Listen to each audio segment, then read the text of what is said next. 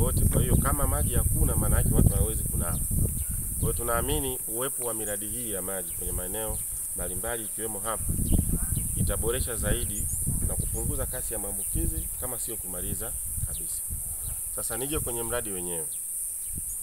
E, historia ya mradi wetu ni kwamba mradi wa maji Kisokwe Idiro inaonyesha kwamba sasa kwa kipindi hicho cha mwaka 1985 ah, mpaka miaka ya karibuni mradi umekuwa ukifanyiwa ukarabati mdogo wa mara kwa mara, lakini changamoto ambayo imejitokeza na tukaona sasa fedha za uviko zina sababu ya kuingia hapa, hata kama sio kumaliza tatizo, lakini kuanza kupunguza tatizo. Moja ni ongezeko la watu. E, kijiji cha Kisokwe Mazai penyewe. Awali kwanza hivi inaonekana kama ni vijiji, lakini kwa sasa ukiangalia kwa uhalisia hivi sio tena nini? Vijiji.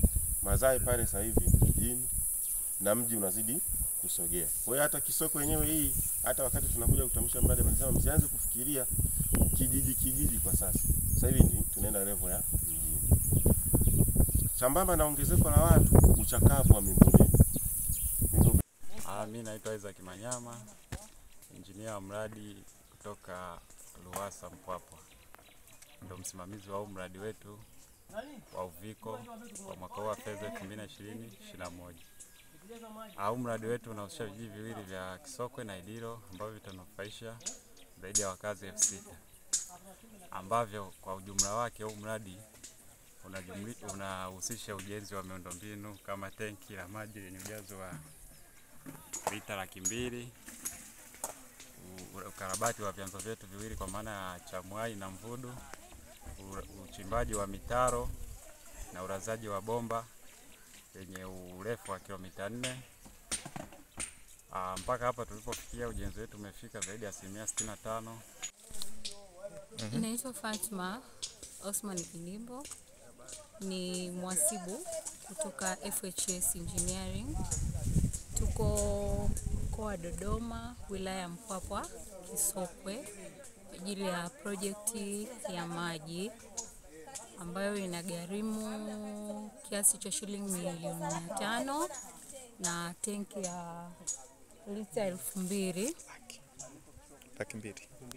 na tenki ya lita laki mbili na zumuni la mradi huu ni kuweza kusaidia wananchi wote ambao wa tarafa ya Idira. kuna ule msemo anasema kumtoa mama. Sasa Filikiro CCM oye! Kwa hiyo kuna hayo mambo, lakini tumepambana mpaka milioni hamsini imepatikana. Pa- ki- ki- Kitakuwa kwenye mradi mkubwa sana ambao wewe ulishawahi kunidokezea. Kwa hiyo unaona jinsi ambavyo tunakwenda. Kwa hiyo kuna mradi mkubwa wa maji ambao nadhani utakuwa mkubwa kuliko huu, mkubwa zaidi. tunaomba uendelee kwa kweli kutupendelea. Yaani kwa mwaka wa mwaka huu tumependelewa sisi kweli. Wanawake tulikuwa hatujui hata kuoga, sasa hivi tunaoga, tunapendeza, watoto wanafua. Kwa kweli tunamshukuru ndugu sema kama akina Orioba, ndugu mheshimiwa mbunge, hao wanapo anapo tamka na kulalamika ni sisi. Ndio maana zimepangwa hizo ngazi.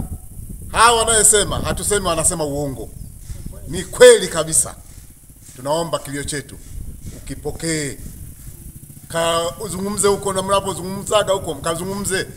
Hali tete, lakini isije ikawa kama kama huko nyuma miradi tuliyopokea nyuma. Kweli tu- tuna tuna tuna tunaelewa lakini tuzungumza tuna, tuna sita. Kwa mfano mradi wa, wa, wa Josho pale ilitokea pesa na mpaka wabunge walikuja kukagua. Na tukatoa malalamiko yetu mpaka leo. Hajatekelezwa. Kuna pesa shilingi milioni ishirini hatujui iliko iliko iliko kwendea, lakini ilivyoonekana mradi huu utaishia kwenye tenki. Tengeneza kiasi kikubwa cha maji kizuri, tufanye impact nzuri, lakini kwa wananchi service yao itakuwa haipo, italeta shida. Kwa hiyo ombi langu kama mheshimiwa diwani kwa kata hii nisema, kwa tushukuru serikali hata kidogo tumepata, kwa sababu katika kata kumi na tano za wilaya jimbo la Mpwapwa ni kata moja tu ya Mazaya. Nikushukuru wewe binafsi na mama Samia Suluhu